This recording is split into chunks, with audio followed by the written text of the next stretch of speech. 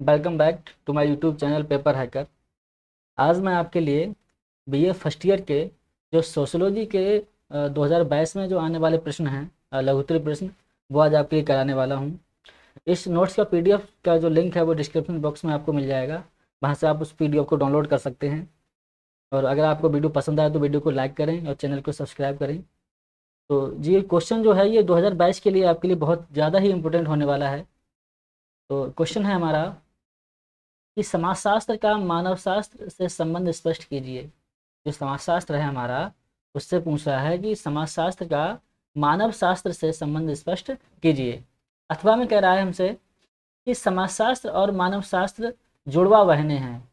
क्या कहा इन्होंने? कि समाजशास्त्र और मानव शास्त्र जो है, वो जुड़वा बहने हैं। स्पष्ट कीजिए।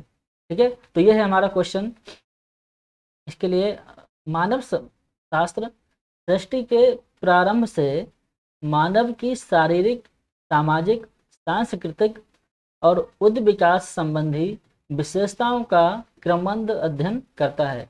मानव शास्त्र जो है, वो सृष्टि के मतलब शुरुआत से ही, प्रारंभ से ही मानव की शारीरिक, सामाजिक, सांस्कृतिक और उद्विकास संबंधी विशेषताओं का क्रमबद्ध अध्ययन करता है। समाजशास्त्र और मानव शास्त्र एक दूसरे से घनिष्ठ रूप से संबंधित हैं। मतलब समाजशास्त्र और जो मानव शास्त्र है वो एक दूसरे से घनिष्ठ रूप से संबंधित हैं। कोबर ने इन्हें कोबर एक समाजशास्त्री हैं। कोबर ने इन्हें जुड़वा बहने कहा है। कोबर ने क्या कहा है इनके लिए? जुड़वा बहने कहा है। दोनों विज्ञान समान समस्याओं का अध्ययन करते हैं। दोनों विज्ञान जो मानव शास्त्र है और समाजशास्त्र है दो, दोनों क्या करते हैं? समान समस्याओं का अध्ययन करते हैं और दोनों का ही उद्देश्य सामाजिक संबंधों व सामाजिक संगठनों का अध्ययन करना होता है। दोनों जो विज्ञान हैं, दोनों जो समाजशास्त्र हैं हमारे तो उनका जो उद्देश्य, सामाजिक उद्देश्य उद्देश्य है, वो सामाजिक संबंधों और सामाजिक संगठनों का अध्ययन करना होता है। समाजशास्त्र का संबंध वर्तमान जटिल समाज से है। समाजशास्त्र का जो संबंध है, वो वर्तमान जटिल समाज से है। तो मानव शास्त्र का आदिम समाज से और मानव शास्त्र का जो संबंध है वो किससे है? आपका आदिम समाज से है। प्रोफेसर सत्यव्रत व्रत का कहना है कि यदि समाजशास्त्र के कपड़े उतार दिए जाएँ तो वह मानव शास्त्र बन जाता है। जो प्रोफेसर सत्यव्रत हैं, उनका ये कहना है कि समाजशास्त्र के यदि कपड़े उतार दिए जाएँ तो वह मानव शास्त्र बन जाता है। और मानव शास्त्र को कपड़े पहना दिए जाएँ तो वह समाजशास्त्र बन जाता है। उन्होंने क्या कहा कि यदि समाजशास्त्र के कपड़े उतार दिए जाएँ तो वह मानव शास्त्र बन जाता है। लेकिन अगर मानव शास्त्र को कपड़े पहना दिए जाएँ तो वह क्या बन जाता है? समाजशास्त्र बन जाता है। मानव शास्त्र की एक शाखा के रूप में रूप में सामाजिक मानव शास्त्र का क्षेत्र सबसे अधिक विस्तृत है।